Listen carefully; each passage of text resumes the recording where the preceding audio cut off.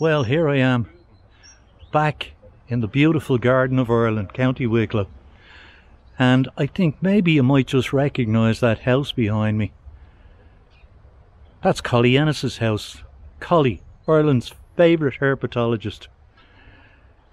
I've dropped down today to have a chat with him because he's going to introduce my friend John Kiberd to the art of building ponds. Now I know John is already here. In fact, I can sort of hear the two of them in the in the background chatting away. So they can't be too far away from me. So let's just walk up, have a look and see what they're at. Yes, just like I said. There are the pair of them standing at the door waiting for me. Now, I know the reason John is here today is because he's going to get advice from Collie on how to build ponds. Morning, gentlemen. Morning, how are you? Okay, so I know you two are chatting about ponds. Where actually? Oh, you were, were you? How surprising. Listen, It wasn't a deep Collie, I know that you're the expert on this, and John is here to take advice, and I know nothing. So that's a great help. Why don't we go down to the one in your garden here and just explain a little bit about the process of how you built that one and what you intend to do? Because I know that John has a plan to build these ponds beside all of the little forests, the stepping stone forests that are already prepared in the schools around Tallaght. So what do you say we walk down and have a look at your one here? Sounds fantastic. Okay, so here's the pond in Collie's garden. Yeah, so obviously this is a lot bigger than the ones we intend to put in. This is a, a, a fairly large wildlife pond, but the process is the same. So it's basically a bowl shape in the ground. Um, if, if you're going for this type of one, um, because we're going to be putting them in near schools, it'll be fairly shallow. Right. right up to the edge, mainly shallow, and then a, a, slightly deeper portion in the middle, about two and a half foot deep, and that allows animals to hi- hibernate over winter. You then put in some liner to block the sharp stones around the edge. Once you have that bowl shape dug out, so you put in, and we'll uh, we'll get the kids to do that themselves. Yeah, That's yeah. The more they of do, the better. Yeah. yeah. Um, once you have that shape, then you get either a bit of old carpet liner. You can get professional liner. You can use cardboard, anything just to soften the edge. Yeah. Uh, sand is great as well. And then you get your your plastic liner or your rubber liner and put that on. Fill it with water. Then around the edges, just put in some rocks, some moss, some wood, and Bob's your uncle. That's basically it. And then you just wait for the for the little creepy crawlies to show up and. If you build it, they will come. yeah, exactly. It's such a quick process. You get it in over the winter, ideally, so we should be doing it in the next couple of weeks. And then instantly in this throughout the spring and the summer, you're just going to see it dry in, in life. And there was nothing here. This wasn't.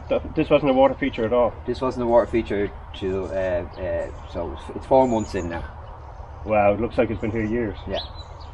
So it just goes to show once you put it in and let it settle, it just it takes over on its own. Yeah. It's amazing. And there's already frogs and newts and really. all sorts of stuff use. They it. just Oh, yeah. They just find their way nearly there. straight away. It was a couple of weeks, um, so it's it, they're just fantastic. And the great thing is, you're combining with your brilliant initiative with the Stepping Stone Forest. What we're doing there is we're creating a mosaic of habitats. So habitat is great. Yeah. Forests are great. Wetlands are great. Scrub is great.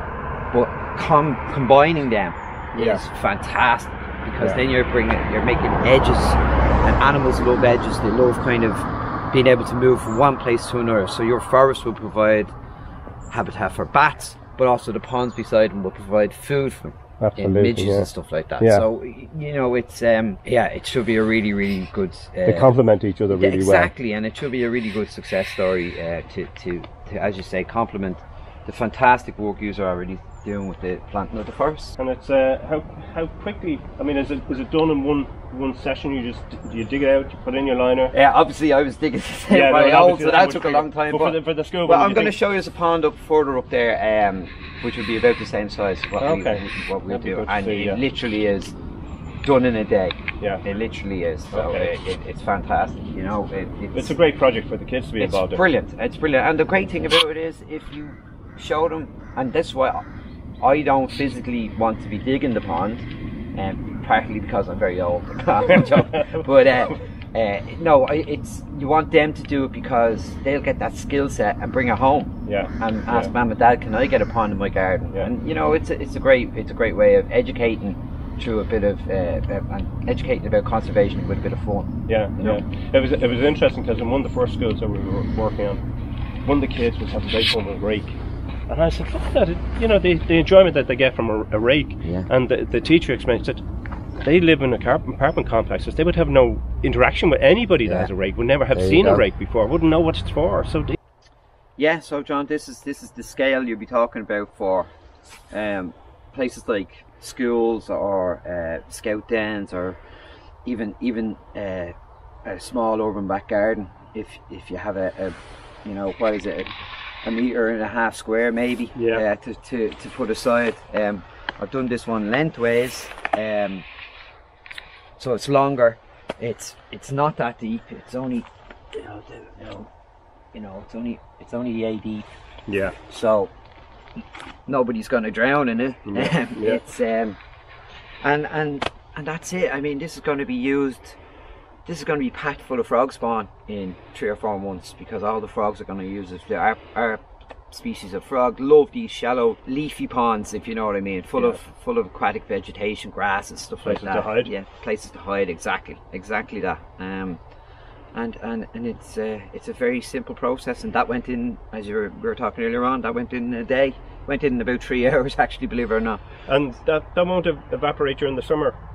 It, it, the water down. level will drop a little bit but it won't go because if you just look I left a little bit bare, bare there you can still see the liner Yeah, so the liner will keep water in it nice. um, and again the fact that it will get warm will make it more attractive to the likes of frogs because they want their tadpoles to be in a nice warm um, Okay. in a pond that will uh, help it grow faster okay. so yeah so there you go i mean it's a it's a it's a simple process and Very manageable. And Yeah. most of the schools that I've been in now, they could easily accommodate a pond like this. yeah you, know, you put it easily. the, and like even if you haven't got a wildlife garden or whatever most schools will have a playing pitch or somewhere like that i did one in Drimnagh Castle there last year and they have it down behind the the GAA pitch um and right beside it there's a lot of nettles and you know where the where the lawnmower can't get in that kind of thing so again it's complementing that area and you know uh, that's actually where I got my interest in all this like frogs and stuff was when I was in school in Drimnagh Castle All and they always had frogs there and then the, apparently the frogs disappeared over the years so uh, they're back now because Okay. I was determined to get them back in there Right, you know that they, that we're creating these forests in a horseshoe shape in most cases. okay That's to provide an outdoor classroom so that they'll be protected from the Oh, wind wow. all the way around. And in the primary schools, we're going to put a tunnel entrance into it with willow, uh, just that I was just mentioning, uh, and we'll, we'll, we'll arch it, and so they'll walk through this into That's this fantastic. kind of forest wonderland. Now, would it be better to have that in the forest classroom with them, or on the outside of the forest? What do you think? Um, I would put it on the outside um, because you want to get a little bit of natural sunlight on it. Um, if it's in the middle of trees, Yeah. it can still work, but you do need to get some dappled light into it. Um, Okay. And during the summer, when the trees are, are full of um, leaves and stuff, it, it, it- will block it out. So you want some sunlight. You don't want it in full sun. It's uh, very much Goldilocks. you Yeah, what yeah, you want yeah, a little bit of sun during the day. Uh, if it's in full sun the whole time, you'll get al- algal blooms.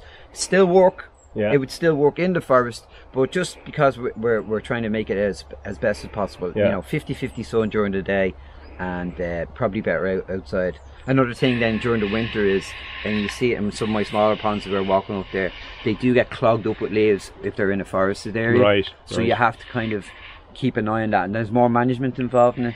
Um, if we can keep the management levels down to uh, as minimum, Minimum, as possible. yeah, So yeah. just outside, I think would be perfect. Okay, okay, that's good. But I mean, you'll you'll uh, clearly you'll be on site each Yeah. time, so you'll be able to say that's the best That's the best place, for yeah. Yeah, yeah. That's all what I think is the best thing. You just go down, say this is where we're going. You peg out the uh, the area, and you say how deep you want to go, and you hand the kids a shovel and the teacher a shovel, and and come back down for the liner to be put down. This is what we did in in Drimnagh Castle. That was quite successful, and um, yeah, they did a great job, fantastic job, and you know great interest there as well. So Yeah, and while it's complementary, It doesn't have to be done at the same time as the forest. We, you can hit this Oh, at, at, anytime. at time that yeah, suits yeah, you. anytime. yeah, Be- best, as I said, if we can get it in in the next, like before the end of January and start of February. I mean, so we've a good, they have a good bit of time to do it. so, yeah, yeah, you know. yeah, absolutely. Um, but you can do it any time of the year. It's just, um, it's it's easy to do at any time of the year. It's just it, around just before springtime is is ideal. Yeah, you're likely to get spawn then. uh, and it's the same if you have a pond in your garden. Now's the time to manage it because now's the time when there's not that much wildlife activity in it. So if you're if you're raking, if pulling out leaves, don't use a rake in a pond. If you're Yeah. pulling out leaves, if you're using, uh, if you're giving it a haircut with the vegetation around it, like irises and lilies or anything like that, now's the time to do it. Uh, you you just chop around what you need to clear out. You pull out the the leaves, but you leave them for a couple of nights beside the pond. That allows anything that's in there that you that pulled before, out yeah. to crawl back in. Yeah, Yeah, it's, yeah. it's a it's a good system, and then you can take it away and compost it. So, Yeah, okay. So that's what I'll be doing now in the next while. all after right. you sleep. You're going to be busy? Yeah, I'll come. I'm always busy. John, when do you plan on doing the first one of these? School that's volunteered to take the pond is a little bit further down the planting scale because Oh, we've got to yeah. allow the time for the, the soil preparation to do its job. Um, so it will be going into it'll be Firhouse Community School and we'll be going in there probably we'll, we'll try and get in as soon as we can. next really. couple of weeks, hopefully. Yeah. Um, Okay. And maybe our So that means you're going to put the pond in first? Yeah. Yeah. Yeah, okay. Yeah. But the, the area for the forest is clearly marked out. So there's no issue there. We Yeah. can go around that. And she's very enthusiastic. I mean, I met yeah. her. Yeah, I saw the enthusiasm. Yeah, absolutely. Okay. Oh, they're fantastic. It's just a an instant window into uh, into the natural world. As I said, they'll, they're just uh, it just uh, sparks that interest in kids. I think they're just a, a fantastic little resource and handy to do.